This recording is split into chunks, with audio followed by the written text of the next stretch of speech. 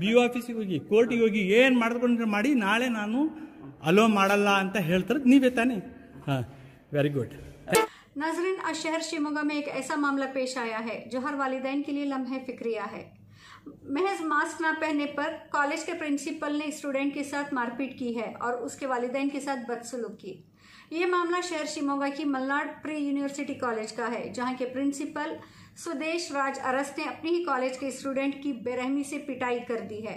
Student का जुर्म बस इतना था कि वो भूल कर बगैर मास्क के कॉलेज चला गया। स्टूडेंट के इस गुनाह अजीम पर जनाब प्रिंसिपल साहब इस कदर तैश में आ गए कि इन्होंने अपने ही स्टूडेंट के साथ पेशावर मुजरिमों जैसा सलूक करते हुए पहले तो उसकी पिटाई की, फिर उसके वालिद मोहम्मद सूफी जो इलियास नगर सातवें क्रॉस के रिहायशी हैं, उन्हें फ़ोन करके ये कहते हुए बुलाया गया कि वो कॉलेज आकर अपने बेटे को लेकर जाएँ। अचानक कॉलेज से कॉल करके बुलाए जाने पर मोहम्मद सूफी यानी स्टूडेंट के वालिद घबरा कर फ़ौरन कॉलेज पहुँचे। तो उन्हें पता चला कि उनके बेटे को मास्क ना पहनने की वजह से बेरहमी से मारा गया है। मोहम्मद सूफी ने प्रिंसिपल से बात करने की कोशिश की। तो प्रिंसिपल ने उनके साथ भी बदतमीजी करते हुए उनके साथ दहशतगर्दों जैसा सलूक किया। जबकि वीडियो में बच्चे के वालिद मोहम्मद सूफी प्रिंसिपल से मुसलसल बात करने की कोशिश कर रहे हैं और उनका लहजा नरमी भरा है। लेकिन जनाब, प्रिंसिपल साहिब का पारा तो सातवें आसमान पे चढ़ा है। एक जगह रुककर बात करने के बजाय बच्चे के वालिद को परेशान करने के लिए जानबूझकर अपने पीछे घुमा रहे हैं। ये महज लिबास की वजह से सब कुछ हो रहा है। वीडियो में आप खुद देख सकते हैं कि किस तरह से प्रिंसिपल कहलाने वाला ये शख्स गुंडों जैसी हरकत करते हुए अपनी मूछों को ताव दे रहा है। मानो एक बच्चे की पिटाई करके इस जनाब ने कोई खिला फतेह कर लिया हो। जबकि जनाब प्रिंसिपल सुदेश राज अरस का खुद अपना चेहरा नंगा है। जिस मास्क को बहाना बनाकर भरी क्लास के आगे एक बच्चे की पिटाई की गई, वही मास्क इन साहेब ने भी नहीं पहना। ऐसे में अब इन जनाब को सजा कौन सुनाएगा? इन्हीं मास्क पहनना कौन सिखाएगा? एक तो खुद चोरी, ऊपर से जनाब प्रिंसिपल की सीना जोरी तो देखें। इम्तिहानात के करीब ये बच्चे के वालिद मोहम्मद सूफी साहब से कहते हैं कि वो अपने बेटे की टीसी लेकर चले जाएँ। प्रिंसिपल का रवैया देखते हुए बच्चे के वालिद ने जब मौके की वीडियो बनानी चाहिए तो प्रिंसिपल ने अपनी मूछों को दोबारा ताव देते हुए एक बाप के आगे उसके बेटे को तालीम से महरूम कर देने की धमकी देते हैं। और घमंड में चोर प्रिंसिपल ने यहाँ तक कह दिया कि किसके पास जाकर शिकायत करते हो करो, मैं भी देखता हूँ। नाजरीन, वीडियो में आप खुद देखें कि एक उस्ताद मेमार कौम कहलाने वाले इन जनाब की गुंडों जैसी बॉडी लैंग्वेज, जो अपने किए पे माजरत चाहने या इजहार शर्मिंदगी के बजाय अपनी 10 सेंटीमीटर लंबी मूछों को कैसे ताव देकर खुद को ना जाने की सल्तनत का राजा महाराजा समझ रहे हैं। माना ये जनाब अपने नाम से सुदेश राज अरस हैं, लेकिन ये तो खुद को सच में किसी रियासत सल्तनत के जहांपना समझ बैठे हैं। और ये ये भूल चुके हैं कि वो एक टीचर एक उस्ताद हैं जिनके हाथों में देश का मुस्तकबिल है ಸರ್ ಈಗ ನೀವು ಅವನಿಗೆ ಅಲೋ ಮಾಡಲ್ಲ ಮಾಡಿ ಸರ್ ವಿಡಿಯೋ ಮಾಡಿ ಅಲ್ಲಲ್ಲ ನೀವು ಮಾಡಲ್ಲ ಅಂತ ಹೇಳಿ ನಾನು ಮಾಡಲ್ಲ ಅಂತ ಹೇಳ್ತಾ ಇದ್ದೀರಲ್ಲ ನೀವು ಮಾಡಲ್ಲ ಅಂತ ಹೇಳಿ ಅವನ ತಪ್ಪು ಏನಿದೆ ಅದು ಹೇಳಿ ಫಸ್ಟ್ ತಪ್ಪಿಲ್ಲದೆ ಸುಮ್ಮ ಸುಮ್ಮನೆ ಇಶ್ಯೂ ಮಾಡಿ ನೀವು ಬ- ನಾ ಕಾಲೇಜಿಗೆ ಸೇರಿಸಲ್ಲ ನಾಳೆಯಿಂದ ನೀವು ಏನು ಮಾಡ್ತೀರಾ ಮಾಡ್ಕೊಳ್ಳಿ ಪೊಲೀಸ್ ಅವ್ರ ಹತ್ರ ಹೋಗಿ ಕೋರ್ಟಿಗೆ ಹೋಗಿ ಬಿ ಒ ಆಫೀಸಿಗೆ ಹೋಗಿ ಅಂತ ಹೇಳ್ತಾ ಇದ್ದೀರಲ್ಲ ಇದು ಸರಿ ಇದೆಯಾ? ಸರ್ ಇದು ಅದಿಡಿ. ಅಲ್ಲಲ್ಲ ಅಲ್ಲಿ ಹೋಗೋಕ್ಕೆ ನಾನು ಬಂದಿಲ್ಲಲ್ಲ ಸರ್ ನಾನು ನಿಮ್ಮ ಹತ್ರ ಬಂದಿದ್ದು ಫಸ್ಟ್ ನಿಮ್ಮ ಹತ್ರ ಬಂದು ನಿಮ್ಮ ಹತ್ರ ಮಾತಾಡಿ ನಿಮ್ಮ ಹತ್ರ ಮಾತಾಡಿ ಅಡ್ಮಿಷನ್ ಮಾಡಿರೋದು. ಮಾತಾಡಿ ಹಾಂ? ಅಲೋ ಮಾಡಲ್ಲ? ಸರ್ ಅಲ್ಲಿ ನೀವೇ ಹೇಳ್ತಾ ಇರೋದು. ಅಲ್ಲಲ್ಲ ನೀವು ಹೇಳ್ತಾ ಇರೋದು ಕೋರ್ಟಿಗೆ ಹೋಗಿ ಪೊಲೀಸವ್ರ ಹತ್ರ ಹೋಗಿ ಅಂತ ಹೇಳ್ತಾ ಇದ್ದೀರಲ್ಲ ಇದು ಸರಿದ್ನಾ ಅಲ್ಲ ಅಲ್ಲಲ್ಲ ಸಮಯ ನೀವು ಹೇಳಿ. ಫಸ್ಟ್ ಹೇಳಿ. ಮಕ್ಕಳನ್ನ ಇದೇ ವಿದ್ಯಾ ಕಳಿಸ್ತಾ ಇರೋದ ನೀವು? ಹೇಳಿ ಹೇಳಿ. ಸರ್ ವಿಡಿಯೋ ಮಾಡಂಗಿಲ್ಲ. ಯಾಕೆ ಮಾಡಂಗಿಲ್ಲ? ಇದೇ ಕ್ಯಾಮ್ರಾ ಇದೆ ಸಿ ಸಿ ಇದೆ ನಿಮ್ಮ ಹತ್ರ ಇದೆ ನಿಮ್ಮ ಹತ್ರ ಇರುತ್ತೆ ಫೋಟೋ ಅಲ್ಲ ಸಮಯ ನಿಮ್ಮ ಹತ್ರ ಇರುತ್ತೆ ಆನ್ಸರ್ ನಾನು ವಿಡಿಯೋ ತೆಗ್ದಿಲ್ಲ ಅಂತಂದ್ರೆ ನನ್ನ ಹತ್ರ ಏನಿರುತ್ತೆ? ಹೇಳಿ ಆಗಲಿ ನಾನು ಅಲ್ಲಿಂದ ಬಂದಿರೋದು ಅವ್ರಲ್ವೇ. ನಾನು ಬಂದಿಲ್ಲಲ್ಲ? ಎದ್ದು ಬಂದಿರೋದು. ಹ್ಞೂ ಬನ್ನಿ ಬನ್ನಿ. ನೀವು ನನ್ನಿಂದ ಹಿಂದೆ ಸರ್. ಮತ್ತೆಲ್ಲೋಗ್ಬೇಕು ಬಂದ್ರೆ? ಮತ್ತೆಲ್ಲ ಹೋಗ್ಬೇಕು ಹೇಳಿ? ನಿಮ್ಮ ಹತ್ರ ಹೋಗಿಲ್ಲ ಅಂತಂದ್ರೆ ನಿಮ್ಮ ಹತ್ರ ಎಲ್ಲಿ ಹೋಗ್ಬೇಕು ಯಾರ ಹತ್ರ ಕೇಳಬೇಕು? ಪಕಡ್ಬ. ನೀವ್ ಹೇಳಿರೋದಲ್ಲ ನೀವು ಯಾರ ಹತ್ರ ಹೋಗಿ? ಅಲ್ಲ ನೀವೇ ಹೇಳಿ. ನೀವೇ ಹೇಳಿರೋದು. ಆಯ್ತಾ? ಮೀಸೆ ತಿರುಗಿಸಿ ನೀವೇ ಹೇಳ್ತಾ ಇದ್ದೀರಾ? ಪೊಲೀಸರ ಹತ್ರ ಆಗ್ಲಿ. ಬಿ ಆಫೀಸಿಗೆ ಹೋಗಿ. ಬಿ ಆಫೀಸಿಗೆ ಹೋಗಿ ಕೋರ್ಟಿಗೆ ಹೋಗಿ ಏನು ಮಾಡ್ಕೊಂಡ್ರೆ ಮಾಡಿ ನಾಳೆ ನಾನು ಅಲೋ ಮಾಡಲ್ಲ ಅಂತ ಹೇಳ್ತಾರೆ ನೀವೇ ತಾನೇ. ಹಾ very good thank you thank you ಹ್ಞೂ ಆಯ್ತಾ? ಅಲೋ ಮಾಡಲ್ಲಲ್ಲ? ಬೇಕಂದ್ರೆ ನಾನು ಅಲ್ಲಲ್ಲ ಮಾಡಲ್ಲಲ್ಲ ಸರ್ ಅಲೋ ಮಾಡಲ್ಲಲ್ಲ ಸರ್ ಪ್ರೀ ವೆಡ್ಡಿಂಗ್ ಶೂಟ್ ಅಲ್ಲಲ್ಲ ವಿಡಿಯೋ ಅಲೋ ಮಾಡಲ್ಲಲ್ಲ ಸರ್ ನನ್ನ ಮಗನಿಗೆ.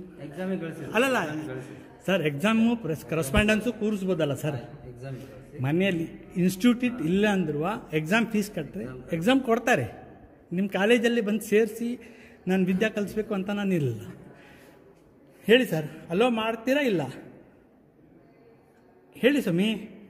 ಅಲೋ ಮಾಡಲ್ಲ sir okay thank you done thank you बहरहाल नाजरीन टीचर की इस हरकत पे भारत का कानून क्या कहता है आपकी और इन जैसे प्रिंसिपल्स की और टीचर्स की जानकारी के लिए हम ये भी बता दें कि भारतीय कानून के मुताबिक आ, टीचर्स का स्टूडेंट्स को मारना या किसी भी किस्म का मेंटली और फिजिकली तशद गैर कानूनी है सेक्शन 23 चाइल्ड प्रोटेक्शन एक्ट के तहत वालदेन उस टीचर के खिलाफ केस बुक कर सकते हैं, जिसके नतीजे टीचर को तीन महीने से एक साल तक की सजा भी हो सकती है। बावजूद मुल्क भर से इस तरह के मामला सामने आ रहे हैं, जहाँ टीचर्स प्रोफेसर की जानब से बच्चों के साथ तासुबाना रवैया इख्तियार किया जा रहा है। ऐसा ही एक मामला मणिपाल में पेश आया था, जहाँ मेडिकल कॉलेज के प्रोफेसर ने एक मुस्लिम मेडिकल स्टूडेंट को कसाब नामी एक दहशतगर्द के नाम से कसाब कहकर पुकारा, जिस पर मेडिकल स्टूडेंट ने ऑब्जेक्शन करते हुए प्रोफेसर की इस हरकत पे टोकते हुए खुद को एक दहशतगर्द के नाम से पुकारने पर मजम्मती एहतजाज किया, जिसकी वीडियो भी सोशल मीडिया पर खूब वायरल हुई थी। No, you- you're just like my kid. No, it's not, sir. It's not. 2611 was not funny. Islam That's it, that's terrorist it. is not funny. Being a Muslim in this country and facing all of this every day is not funny. Just like my son. No, no, no. Will you talk to your son like that? My son, no. Will you will you name will you call him by the name of a terrorist? No, Khalas. How can you call him like that? no problem. In front of so many people in no, a class. Sorry, I told you. You're a professional. You're Yeah, teaching. Yeah, sorry, you. Can't call me that. So I told you.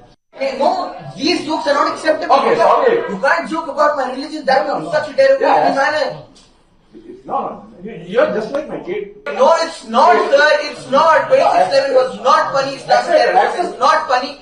Being a Muslim in this country and facing all of this every day is not funny. Just like my son. No, no, no. Will you talk to your son like that? My son, no. Will you will you name will you call him by the name of a terrorist? No, Khalas. Why- why- How can you call me like that? no problem. In front of so many people in No, a class. Sorry, I told you. You're a professional. You're Yeah, teaching. Yeah, sorry, you. You can't call me that. Sorry, I told you. नाजरीन, हमारे माशरे में और हर इंसान की ज़िंदगी में एक उस्ताद का मुकाम बहुत ऊँचा होता है। लेकिन अक्सर अवकात इस ये भूल जाते हैं कि माशरे ने इन्हें जिस मुकाम पर रखा है और माशरे को लेकर इनकी जिम्मेदारियाँ क्या हैं। वालिदैन अपने बच्चों का मुस्तबिल संवारने उनकी बेहतर तालीम तरबियत के खातिर लाखों का पैसा खर्च करके स्कूल कॉलेज में दाखिला दिलवाते हैं। लेकिन अफसोस कि आज विद्या का मंदिर कहे जाने वाले तालीमी इदारे भी तासुब की आग से बच नहीं पाए। हर टीचर की ज़िम्मेदारी है कि वो अपने स्टूडेंट को वालिदैन की कदर, इज़्ज़त व एहतराम करना सिखाए। अगर वही बिला वजह बच्चों की पिटाई करने लग जाएँ, बच्चों के वालिदैन के साथ बुरा सलूक करके उन्हें नीचा दिखाने की कोशिश करेंगे तो बच्चों के नाजुक जहन पर क्या असर पड़ेगा? बच्चे ने अगर मुसलसल मास्क नहीं पहना तो उसको समझाने, डराने के और भी तरीके हैं। लेकिन एक बच्चे को पेशावर मुजरिमों की तरह सजा देना, पूरी क्लास के आगे जदोकोब करते हुए उसकी इज़्ज़त नफ्स मजरू करना गैर इंसानी अमल है। उस पर मजीद सितम कि उसके वालिदैन के साथ दहशत गर्दों जैसा सुलूक। इस पूरे वाक़े के बाद एक कम उम्र बच्चे के जहन पर कितने खतरनाक असरात पड़ सकते हैं, इसका अंदाज़ा लगाना भी मुश्किल है। जिस कौम ने भारत को Abul Kalam Azad Mohammad Ashfaq, missile man A P J Abdul Kalam, sir Syed Ahmad और मेजर अब्दुल हमीद जैसे नायाब नगीने दिए हैं।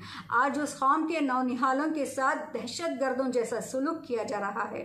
तसब की आग में जल रहे इन संघी जहनीत के लोगों की वजह से आज भारत हज़ारों अब्दुल कलाम और मेजर अब्दुल हमीद जैसे हीरो, हीरों से महरूम होता जा रहा है। इंतजामिया को चाहिए कि ऐसा फिर ऐसे फिरका परस्तों के खिलाफ सख्त से सख्त कार्रवाई करे, ताकि कोई दूसरा बच्चा इस नफरत का शिकार ना बने। साथ ही कौम के रहनुमा और दानश्वरों की ज़िम्मेदारी है कि वो भी जल से जुलूसों से ज़रा हिट के मुसलमानों में अवेयरनेस लाएँ, कानूनी अवेयरनेस लाएँ, ताकि हमारे हालात बेहतर बन सकें। क्योंकि आज मुसलमानों के हालत जार का सबसे बड़ी वजह हमारी ला इल्मी है।